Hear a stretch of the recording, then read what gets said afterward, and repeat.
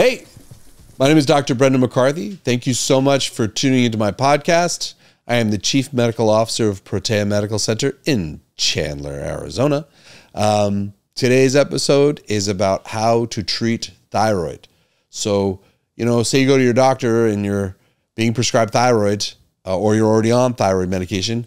You know, is it good? Is it right? Common question, and it's a valid one. And a lot of discussion back and forth on that. And uh, so that's what I want to address because I see it a lot clinically in my practice, and I see it a lot um, with your comments. And um, yeah, it's a big one. So, you know, what happens when you go to your doctor and you get prescribed thyroid? A lot of times you're prescribed Synthroid or levothyroxine, and that's not, let me back up. Almost always you are prescribed levothyroxine or Synthroid. It's rare to do others. And those of you who are on others, you know that. It's not a common thing. Okay. Um, people are parked on levothyroxine or, or Synthroid, you know, and they stay there. And I don't need studies to show that they're not happy, but there are studies that show they're not happy. And that'll be in the comment section. Uh, excuse me. That'll be in the description section of this video. There'll be a, a one of the studies that show how much people do not like being parked on levothyroxine or Synthroid and how they prefer being on a more complex therapeutic regimen, which is we're going to go into, which isn't really that complex. Okay. I'm going to quote two studies here because I think that's important, but Justin, edit it out if you don't think they're important. Um, I want to say that the fact that no one likes this ever the New England Journal of Medicine published the effects of thyroxine as compared with thyroxine plus triiodothyronine in patients with hypothyroidism found that patients with hypothyroidism, when given partial substitution of triiodothyronine, T3, uh, for thyroxine, had measurably improved mood and neuropsychological function. That was New England Journal of Medicine. The Journal of Clinical Endocrinological Metabolism, which is a mouthful, even after 20 years of saying that sentence, I have a hard time naming that journal every time. Uh, they wrote that the substitution of T3 for T4 reduced body weight and resulted in greater thyroid uh, hormone action on lipid metabolism without detected differences in cardiovascular function or insulin sensitivity. So patients respond better on a better therapy than just levothyroxine or Synthroid. When you add T3 or triiodothyronine, you get the patient responds better, they feel better, they think better, their body's better. And that's what this episode is about how to put T3 into these equations for these patients. So, you know, giving a person T4 blindly is not seeing the person for where they are. When your doctor prescribes you Synthroid or levothyroxine, they're not really seeing you for where you are. Now, in a recent episode, we did a talk on the lab values for thyroid. And in there, I talked about the conversion of T4 into T3 recap it real quick. T4 is a precursor hormone. Okay. Levothyroxine and Synthroid is T4. That's all it is. Okay. Levothyroxine and Synthroid is T4 or just thyroxine. That's the other name for it. Thyroxine does not touch cells. It does absolutely nothing. It has no biological activity until in the liver and in the muscle, it gets turned into triiodothyronine or T3. T3 is that what does the work. That's what touches the cell and makes things happen. T3 is the most important thing we do or we look at. So when I give someone just T4 as a standalone, I'm hoping that it gets turned into T3. But often, to almost always, it barely does, or it just doesn't. The lab would look good with the T4, if I just gave them Synthroid or, or levothyroxine and I ran a lab that just tested TSH and T4, which is what they do now, and I didn't test the T3, it would look good. But does that look good mean you feel right? Not at all, not even a little bit. Because remember, T3 does the work. Why would I just be testing just those two then? Business? Again, and I say this a lot, and I'm going to repeat it again this is not a conspiracy, and I'm not a conspiracy person, and this is not some you know anti the man thing. I'm not. I'm not. I'm nothing like that actually. This is business.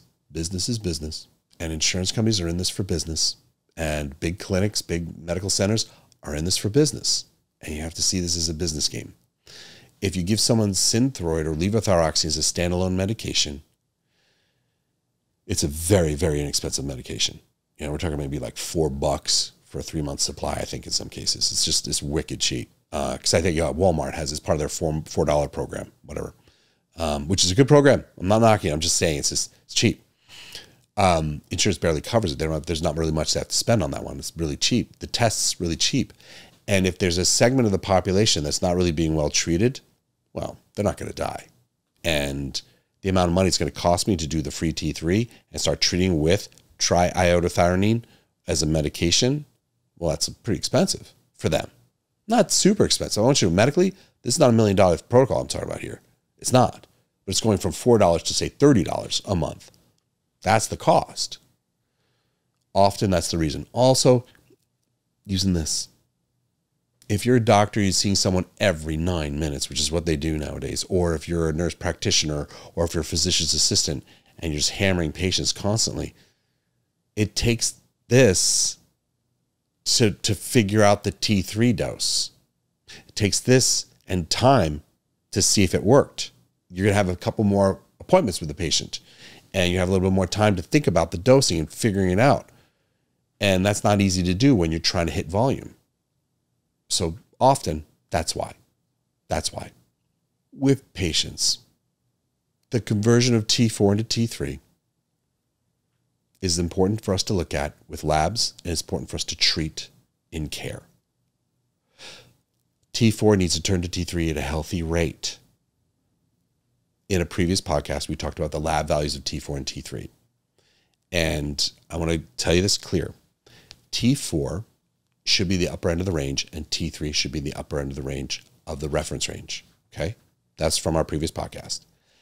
If your T4 is in the upper end of the reference range and your T3 is the lower end of the reference range, that's poor conversion. Your T4 looks good, your TSH looks good, your T3 is down here. You don't feel good. But the doctors say, you're in the reference range. Eh, it's low though. It's not optimal. You want it optimal. You want the upper end of the range. So you want to treat that and bring that up. That conversion's everything. Okay. What causes poor conversion in our patients? What could be the issue? Um, poor nutrition, uh, high stress, cortisol. Cortisol slows down that conversion T4 into T3. Um, some medications like beta blockers will do it. Um, um, uh, omeprazole, which is a you know stomach acid inhibitor, that that'll do it too. Um, inflammation, systemic inflammation, liver damage, uh, alcohol consumption, fast food diet, processed food diet. These things do change that. Um, systemic illness, cancer, trauma, you know, preoperative stress, that'll, that'll do it. Um, postoperative, excuse me, postoperative state, which is, you know, your body's under stress, that'll do it. Um, elevated glucose, insulin, growth hormone deficiency. All these things affect that conversion. So when I said a minute ago, it takes this on the part of your physician, that's all the things you got to juggle. That's all the things we got to think about. And I want you to know we're trained to do that. And we should be very good at it because that's what we do for a living. With that said, if we don't do this often, we don't stay good at it. If you're going to a clinic that doesn't do this very often, is the doctor's like, well, I've never really prescribed this before. Be cautious. These are a lot of things to juggle. It's better to try and find someone that understands that. And if they don't do this a lot, you want to see someone who has buy in with you, that cares about you, and is going to look for all these things I just listed. You want your doctor to think about you completely with your thyroid. You want them to think about your liver. They want to think about your insulin. You want them to think about your growth hormone. You want them to think about your nutrition, your micronutritional deficiencies, your stress. That's true medicine. That's true medicine. So when a patient has poor conversion T4 to T3, I try and figure out the cause of that. And I go after all those reasons why in the middle to try and get this elevated on its own. Sometimes it's just going to be a slow conversion. It's not very good. And sometimes they're both really low and I need to treat. Sometimes a patient is on T4, levothyroxine or Synthroid as a medication as a standalone and they're not converting very well. That doesn't matter. There's nothing I can do in the middle to make that better. I need to give them T3 no matter what and there's, is you know their their adrenal is fine, everything's fine. It's just you can't just give someone T4 and expect it to convert over. It doesn't always mean pathology if it's not converting over. It just means you got to give them a little T3 to help it get back up. Um, when you give a person T4 plus T3, studies show, and I will tell you, thousands of patients through my door in my life have shown me you have better outcomes and better quality of life every single time. Every time. Why? What do they see? What happens when I give them T3? Well, as I mentioned earlier at the beginning of the podcast, you know, it's necessary for weight loss. You get better conversion, better weight loss with your patients. It's not perfect and it doesn't solve a poor diet, right? It's not like, oh, I'm going to take thyroid. That happened. That happened in the 1990s. People were like mega dosing T3 thinking you're going to lose weight. All it did was cause heart problems. And there's still clinics out there like, we'll just give you a lot of thyroid for weight loss. Let me tell you, that does not work. That does not work. It does not work as a standalone. If you're trying to lose weight, you can't just take thyroid to correct diet. It just won't work. Okay.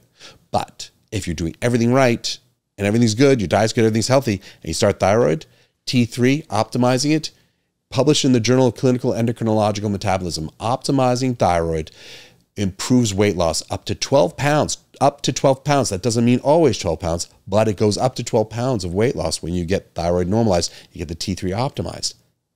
Think about that. That's just all it is. Just your thyroid in those cases. What other things are benefit of getting that T3 up in a better place? It decreases arrhythmias. Everyone always in medical school are always drilled down thyroid's going to cause heart problems. They didn't really talk about how thyroid prevents heart problems either. You know, so a lot of doctors didn't learn this till later on, you know, out in the field, and you're starting to read the research and seeing out there. It's just, this is new, a lot of this stuff. And it's important that we know this. Optimizing thyroid really helps your heart and it prevents heart attacks. It prevents arrhythmias. It gives you better outcomes for if you have a heart attack. So, how do we treat? How do we get them in there? If the person comes in there on levothyroxine and and and um, synthroid, you know, either we're going to add them uh, T3 separately, triiodothyronine. We'll give them a prescription of something called Cytomel, and they'll add that to their T4. I'll lower their dose of levothyroxine a little bit, and I'll give them a little bit of T3 in there, and I'll run the labs about a month later. That's one way of approaching it. Sometimes you just start them off on desiccated thyroid, and this is going to be an awkward moment in my podcast history because this is going to be awkward. Ready? I've been debating how I want to talk about this for months, dead serious, months. I want to talk about this. When I talk about estrogen, I always talk about how estrogen that's derived from horse urine is awful. And it still is because it's derived from horse urine. Okay. It's not good. You should never do estrogen derived from horse urine. Okay. That's Premarin. Desiccated thyroid is sourced from a pig. Armour thyroid and nature thyroid uh, NP thyroid. There's no nature thyroid on the market anymore. Sorry, NP thyroid. These are medications that are derived from grass-fed pigs. It comes from their actual gland. Why is it that I'll say that's okay as opposed to horse urine estrogen? These are more biologically identical to humans. They're completely biologically identical to humans. Desiccated thyroid is the same thyroid hormone that we make. Horse urine thyroid, excuse me, horse urine estrogen, Premarin, is not the same as human estradiol. There's some molecular similarities, but it's different enough to trigger cancer in some cases another pathology. That's why it's bad. So desiccated thyroid that comes from from pig, from porcine. They sounds fancier to call porcine derived, but that's just basically pig derived. It's not it's not the same and it's not pathological. Why are we using pig thyroid for humans? Good question. There's something called protomorphogen theory that was popular in the eight, late 1800s. Um, and the idea was, and I think it was originally derived from Native Americans, is, is that by eating the gland of an animal where you're having pathology, you regenerate that gland within yourself. That's protomorphogen theory. And that's where it all originated. And, you know, over time, we realized what they were taking, they were taking the thyroid gland and was helping people with thyroid, they started understanding that that's the reason why I was working is because there's actually there's actually hormone inside the gland, and it was benefiting those people. That's how we started understanding this. One of the ways endocrinology kind of evolved was that observational thing, and where people would take eat some of the adrenal of of of you know a deer, they get that cortisol. They what is what is this? Well, that's because of that. So it's it was a, one of those observational things, and it just stayed with us. It's around. So some patients, I'll just put them on desiccated thyroid, Armour thyroid, or or NP thyroid, and if they're on levothyroxine, we discontinue levothyroxine. We put them on Armour, or we put them on uh NP, and that has a ratio of T4 and T3 in there that benefits the patient. And we run the labs about a month later to verify it brought the T3 in the optimal end of the range and it brought the T4 in the optimal end of the range. The third way of approaching it is there are things called compounding pharmacies for those of you who don't know. And those are pharmacies that can make a custom medication for you specific to your biological needs. Um, say you have a food allergy or say you have a specific type of medication or method that has to be delivered to you, it can be compounded and made specific for you. So sometimes we as physicians will rely on using them to make a custom medication for a patient it sounds great to make a custom thyroid for you. Say you need only 100 micrograms of T4 and you need three micrograms of T3, that's perfect for you. And I send that to the compounding pharmacy and they make me 100 capsules of it and send it home with you and you got a 100, 100 day supply of it. You know, you go pick it up from your pharmacy, throw it through your insurance, you're good. There's a real big problem here, and I want you to know is that when you do thyroid, we're talking about micrograms, which is like grains of sand. And I need to put the right amount of grains of sand inside of a capsule for you. And it is so easy to make a mistake. I had a patient and it took me a while to figure her thyroid out. She's one of my early patients, and I hope she's watching. So if it, you know who you are, if you're watching this, I love you. Um, because she stays, she's so patient. she's a really good person.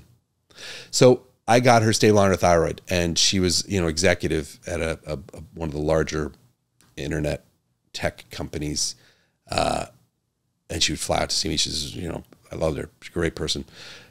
Thyroid impacted her cognitive function so much. Everyone impacts cognitive, and so really it was important to get that T3 optimal, and it was working. I had it perfect. It was great, and I remember that. I remember she. I hope you're watching this. You know, uh, and then all of a sudden it stopped and she's like, what the heck? And it took so long to get everything right because we had to use diet, lifestyle. There were a lot of things to fix to get her thyroid to be optimized and running correctly. And she's like, what on earth this is this? Is this? So I was like, man, we just run the lab. So I run the lab and all of a sudden the T3 is dropping. And I'm like, I don't know why it's dropping. Let me give you more T3 right now and figure out what else could be happening, why the conversion is not working. I kept adding T3 to the prescription to the compounding pharmacy. She was at five micrograms. I went to eight micrograms. I went to 10 micrograms. I went to 15 micrograms. At one point, I hit 25 micrograms of, of T3 in her in her compounded T4 T3 complex, and I kept the T4 100 the whole time. She's only up to 25 micrograms of T3 in there, and and I remember getting her lab report back on a Friday, and it was late, so I called her Friday night, and I said, you know, your T3 is still low. And she's like, we keep increasing it every month and now it's still low again. What is this? I was like, I don't know. So she's like, I need a prescription Monday. So, you know, for Monday, I was like, well, let me, let me contact a pharmacy. And we called them up. And uh, that night I left a message. The next morning I got a phone call from the pharmacist. And um, this is important. The patient had been using a pharmacy for a while now and that pharmacy was not a compounding pharmacy was not going to be open on the weekend. I called it into another compounding pharmacy. This is an important part. The compounding pharmacy I called into this time, she had gotten it from them, you know, about a year before. And now I'm at this new dose calling them in. And the pharmacist called me on Saturday morning. I'll never forget this. And she goes, you know, Brendan, you, increased the dose significantly on this from the last time she was in here. You know, what's up? And I explained it to her. I was like, well, she's, I'm constantly having to increase her dose, man. I don't know why I'm increasing her dose. Nothing's right. It doesn't make sense. I, I went over her conversion. Everything should be right. And she filled me on a dirty little secret that I had no idea. When they make thyroid and compounding facilities, they T3 and T4, sometimes they'll get lazy and they'll make a big batch of T3. And what'll happen is the medication will sort and it'll sift through to the bottom of the jug. And it'll almost be like if you look at it, the very bottom has a lot of T3 and the rest of this is methyl cellulose, which is basically from cabbage. So my patient was getting her capsules and it had inert medicine in it because it wasn't properly mixed at the compounding pharmacy. Not all compounding pharmacies are bad.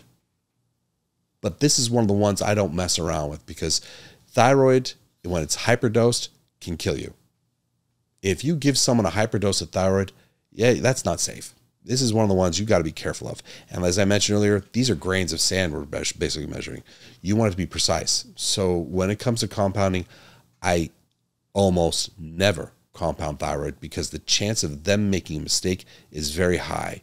And I know plenty of clinics that have been, excuse me, plenty of compounding pharmacies were closed because what they did was dangerous and it was lazy. It was lazy. It was lazy on their part. So please be aware of that. The final way to treat this is to give someone just T3. So we're not going to give them T4. If you're on, say, on levothyroxine or Synthroid, I take you off of that and I just put you on Cytomel, which is the brand name for T3. That's bad. And that was a fad for a while. It was very popular. There's people wrote these things about how, you know, just ramp it up and give them high levels of it and all this stuff. And I'll tell you, clinically, that's dangerous. You know, I'm not going to mince words with that one. Um, it's not a good therapy. And why I'm saying that, labs don't support it. And long term care with those patients, it never worked. They believe that by ramping up your T3 in waves, it would somehow or another regenerate your thyroid. Doesn't that sound, that sounds crazy, doesn't it? Yeah, it is crazy. Don't trust us. you hear this. Don't be careful with your physicians. You know, this, you want your doctor to prove the stuff they're going to do. They want their doctor to explain it to you in a scientific way that makes sense and use lab work to verify it's going to do what they say it does. So, standalone T3, I'll tell you now, not a great idea. But even so, run the lab to verify you had benefit with it or not. I hope that was helpful your comments mean everything to me because we use that to drive this podcast. Justin and I read your comments. I try and respond to them. I don't always get to every single one of them, but they matter to me and they're important. Um, please like, share, and subscribe. And I will see you at the next episode. Thank you.